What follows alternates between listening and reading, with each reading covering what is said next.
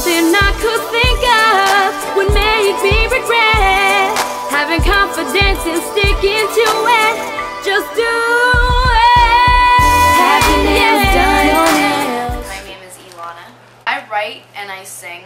I also act as well, but my passion is singing.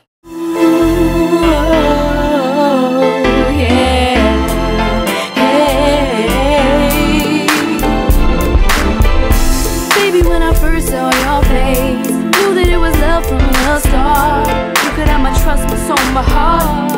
I'm gonna fall in love. Do you believe in love at first sight? Cause when I looked into your eyes, more than sprung, knew you were the one, need you in my life. to a track that I like a lot is Fall in Love. It was actually the first song that I wrote when I first gotten these beats down and it just flowed. When I wrote it, it was just so easy.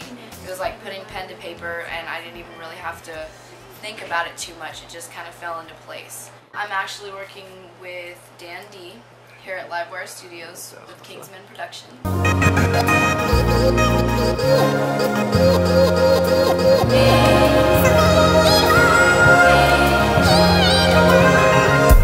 At the mall the other day, saw this girl walk past my way. She was wearing the same fit as me, had her hair done up with bangs and a pony. I thought to myself, wow, I'm unoriginal. I feel like everybody else. How am I supposed to find myself? We all dress the same, we all look the same. The clothes we wear, how we style our hair. You should you want it so badly. Getting her lower harmony down now there. She's able to catch them now.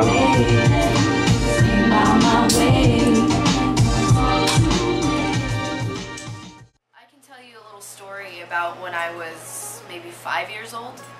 Uh, when I was five, the movie Selena came out in 95, and um, I remember when she was just a little girl, um, she would talk about the feeling that she got when she went on stage, and just how she felt like she was sharing her heart with the audience.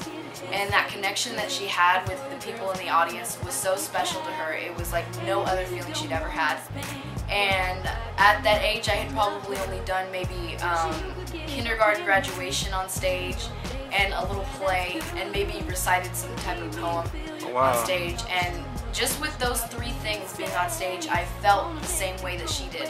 I hadn't even really gotten to singing yet, but I was on the stage and I did feel that emotion that she felt with connecting to the audience. So, you know, pretty much the ambition came before the talent did. I couldn't really sing when I was five years old. When I was seven, I started singing, and me and my sister would write songs and stuff like that. But, you know, it didn't really come till later. But, you know, ever since I was like five years old, I really wanted to do not that I don't love you. It's not that we can't pull through. We've been doing this for too